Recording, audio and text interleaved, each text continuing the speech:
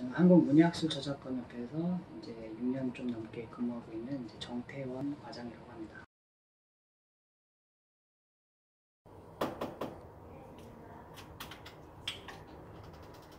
한국문예학술 저작권협회는 이제 이름에도 나와 있지만 문학, 그다음에 예술, 그다음에 학술 저작물의 이제 저작 재산권을 신탁 관리하는 단체입니다.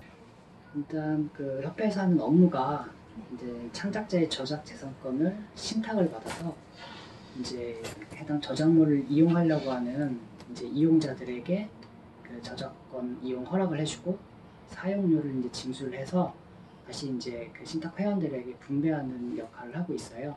해외 단체들과도 이제 교류를 하게 돼요.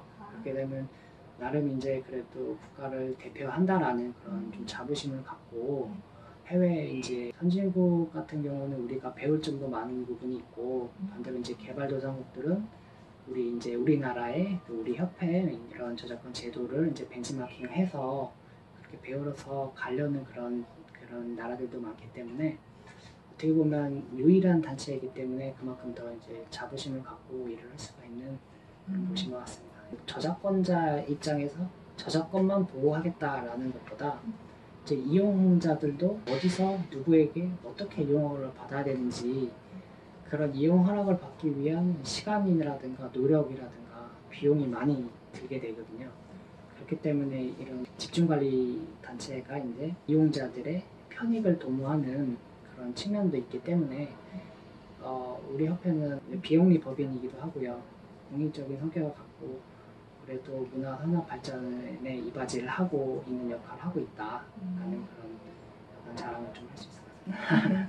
저작권에 대한 인식이 이제 해가 갈수록 그 높아지고 있다라는 것이 이제 저도 체감을 하고 있고요. 그다음에 이제 창작자에게 정당한 대가가 지어지고 불공정하지 않은 그런 계약 체결이라든가 이런 것이 이제 문화가 형성되어 가고 있다라는 그런 느낌이 굉장히 들고 있기 때문에 이제 작가를 희망하신다거나 아니면 창작자를 희망하시는 분들께서 이제 앞으로도 이제 생업 걱정으로 꿈을 포기하시는 그런 일들이 없도록 이제 저작권도 인식도 더 좋아지고 그다음에 산업도 문화 문화 관련된 산업도 발전이 많이 되었으면 하는 바람이고 이렇게 이제 관심을 가져주시고 취재도 인터뷰도 해주셔서 되게 감사하게 생각하고 있습니다.